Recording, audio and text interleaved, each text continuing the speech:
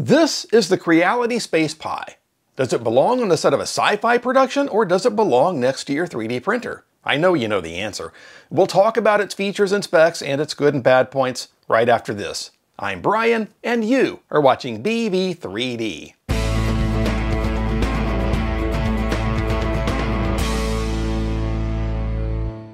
Hello 3D printing friends and welcome back. This is the somewhat unusually named Creality Space Pi.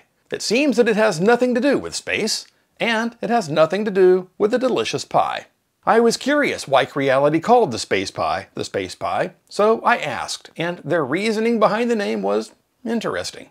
First, they said it looks like a space capsule. Okay, I get that if the back is the front and the front is the back and the spool of filament is the astronaut. Second, space is infinite. Pi is a number that stretches out to infinity, and so infinite pi, I guess? I could go for infinite pi, maybe with a scoop of vanilla ice cream on top. But there's no time for that now. There's a video to make. So let's talk about the why part of this. Is drying your filament something you really need to do? Well, all 3D printing filament is hygroscopic to one degree or another.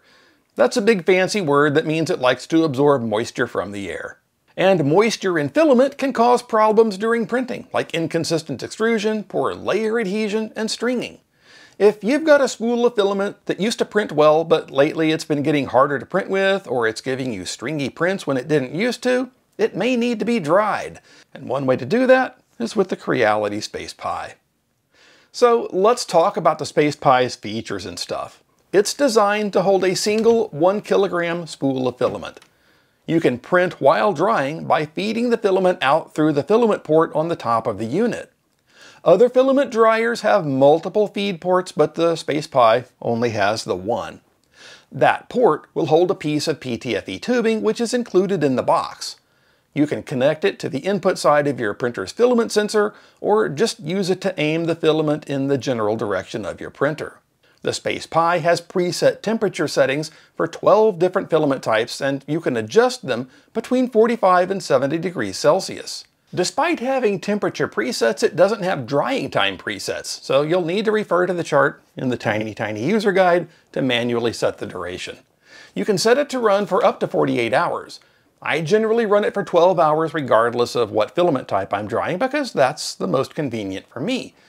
I can start drying at 7 at night, and then when I get up the next morning it's done, and I can put the filament in a bag with some desiccant.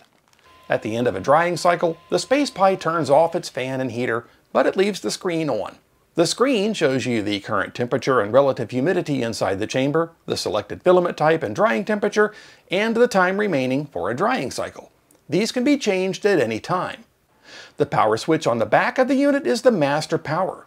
Turn that switch off when you're not going to be using it, and turn the switch on to bring it to standby mode, and then press the power button on the screen to bring it to life. I like the way Creality animated the power up and standby sequences. When powering it up, the display lights up starting from the power button outward, and when going to standby, the display condenses back into the power button. I think it's pretty slick, and I think the controls are fairly easy to operate and understand too.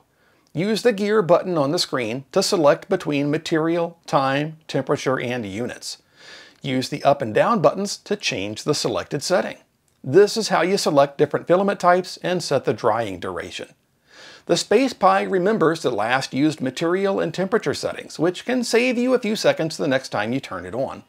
And it uses a fan to circulate the heated air inside for even cooking, I mean drying. Hey, if you're enjoying this video or you just like 3D printing stuff in general, a subscribe would be awesome. That lets me know that I'm making content you enjoy and you want to see more like it. Thanks! To see if the Space Pi actually works, I performed my usual filament dryer test. This involves weighing a spool of filament that's been sitting out for a while, drying that filament at the recommended temperature for about 12 hours, and finally weighing it again. The filament generally loses a gram or two of weight as a result of moisture being removed from it, and that's what happened with this test. The pre-drying weight was 787 grams, and the post-drying weight was 786 grams. So the Space Pi removed one gram of moisture from this spool of ASA. In other words, it did what it was supposed to do. The hot air circulating around the filament was able to heat the filament to release some of the moisture it contained, and because the air was hot, it was able to hold more moisture. That said, I think the Space Pi might work better if it was able to vent the hot, moist air out instead of it staying inside the chamber. If you don't remove the filament right after a drying cycle, it may start to reabsorb the moisture that had been removed from it. Some filament dryers have a place to store a desiccant pack inside them, which is nice because it can absorb the moisture before the filament does. But the Space Pi isn't one of them. So I usually put a desiccant pack in the hub of the filament spool, and I do that no matter what filament dryer I'm using. I just use the desiccant pack that came with the filament. And when the drying is done, I put the desiccant pack and the filament in a gallon zipper bag. The number of filament dryers on the market has been growing lately. In fact, just a few years ago, they didn't even exist as a commercial product. At first, it was just 3D printing hobbyists trying to dry filament by baking it at a low temperature in their ovens, which didn't always end well. Then we discovered that most food dehydrators could be modified to dry filament, and one of the earliest commercial filament dryers you could buy was actually just that, a slightly modified food dehydrator. I even made my own bulk filament dryer out of a dehydrator and a 20 gallon plastic tub. But now there are several purpose-made filament dryers to choose from, all with a mix of features. Most handle one spool at a time. Some handle two, and you can even find them that'll dry four spools at a time, and they're available at a variety of price points. The Space Pi's price, at somewhere between 55 and 70 bucks, is similar to other dryers. And out of all the filament dryers on the market, the Creality Space Pi is one of them. So that's the Creality Space Pi. It does what it says on the tin, as they say, and I like the design of it. I think it looks good sitting next to the Creality K1. If you're interested in it, there's a link in the description. Thanks again to Creality for sending this over so I could show it to you.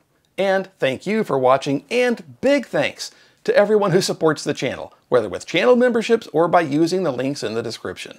If you liked this episode, give it a thumbs up and please subscribe so you don't miss new ones. Well, 3D printing friends, that's about all the time we have for this one, and now that we're at the end, let's go print something cool.